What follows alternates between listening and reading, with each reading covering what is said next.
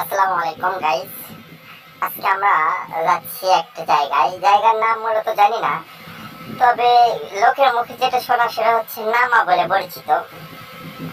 এটা হচ্ছে গোড়ার থেকে মূলত ইউসুফ মার্কেট হয়ে যাইতে হয়। পনেরো থেকে বিশ টাকা ভাড়া লাগে। আমরা মূলত চার পাঁচ জনে হাঁটতে হাঁটতে চলে এসেছি। আর দেখেন, প্রচুর লোকজন হয়, এখানে অনেক লোক দেখতে পাচ্ছেন। এখানে যতটুকু শুনেছি এবং দেখতেছি প্রচুর লোকজন এবং দর্শনার্থী যারা আছেন, তারা ফ্যামিলি নিয়ে আসেন ঘুরতে এবং পরিবেশটা অনেক সুন্দর। কোনো গ্যাদারিং নাই, কোনো ঝামেলা নাই। এখানে সব ভালো লোকগুলোই আছেন। ভদ্র ফ্যামিলির লোকজনে আসেন। কেউ গার্লফ্রেন্ড নিয়ে আসছেন কেউ ফ্যামিলি নিয়ে আসছেন যার যার মতো ইচ্ছা মতো নিয়ে আসছেন অনেক সুন্দর জায়গা। মূলত এটারে বটতলা বলেও পরিচিত। এখানে একটা বট কাটে এই যে দেখতেছেন বট গাছটা। এটা বটতলা নামে পরিচিত। অনেক সুন্দর একটা জায়গা দেখতেছেন আপনারা। অনেক লোক, অনেক দূর দূরান্ত থেকে এখানে আসে মানুষ। একটু ভ্রমণ পিপাসু যারা আছেন, তারা একটু রেস্ট করেন। বিভিন্ন ধরনের খাবারও পাওয়া যায় এখানে। আখের রস বলেন, ফুচকা, চটপটি বাইকাররা অনেক দূর থেকে এসেছেন তারা।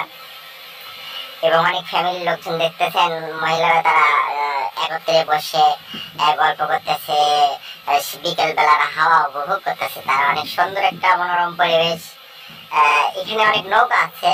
আপনি চাইলে নৌকাতে ভ্রমণ করতে পারেন। আমরা নৌকা নিচ্ছি একটা ছোট নৌকা।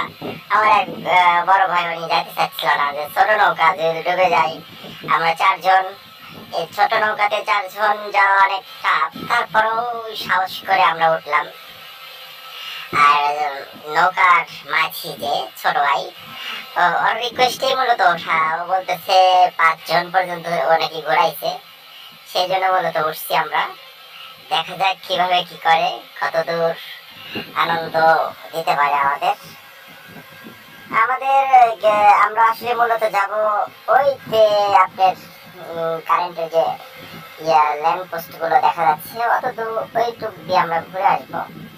অনেক ভ্রমণ পিপাসু যারা আছেন, যারা নৌকাতে কখনো ভ্রমণ করেননি, এই অল্প জায়গায় ভ্রমণ করতে চাইলে আসতে পারেন। অনেক সুন্দর মনোরম পরিবেশ এবং খুব বাতাস লাগতেছে কিন্তু আমরা খুব বাতাস এবং দেখেন অনেক আপুরা তারা ঘুরতেছে, অনেক সুন্দর ভাবে আমাদের ক্যামেরা দেখে অনেকে মুখ ঢাকতেছে তবে অনেক সুন্দর একটা জায়গা। এখানে ঘোরার মতো একটা জায়গা ফ্যামিলি নিয়ে ঘোরা যায়। খুব ভালো একটা জায়গা বলা যায়। এটা হচ্ছে আমাদের রিপন ভাই। উনি আসলে ভ্লগ করবে সেই জন্যই আশা আমাদের সকলের। উনি কিছু জিনিসপাতি কিনছে ব্লগ করার জন্য। সেগুলোতে দেখেন ঢেউটা অনেক সুন্দর। বাতাসের কারণে ঢেউটা অনেক সুন্দর লাগতেছে। যদিও এটা এক ধরনের বিল বলা যায় খাল বিল। আহ, সেই রকম কোনো স্রোত নেই এবং ঢেউ নেই। এগুলো যে ঢেউগুলো আপনারা দেখতে পাচ্ছেন এগুলো হচ্ছে বাতাস।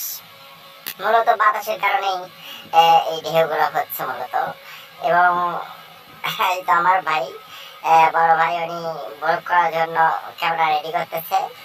আমরা মূলত যাব ওই সামনের দিকে, যে দিক থেকে দূর থেকে দেখা যাচ্ছে নৌকাগুলো আসতেছে। আমরা ওই সামান্য কিছু ঘুরে আবার চলে আসব। আর আমার নৌকার মাঝি যিনি ছোট ভাই, ও চালাইতে পারতেছে না।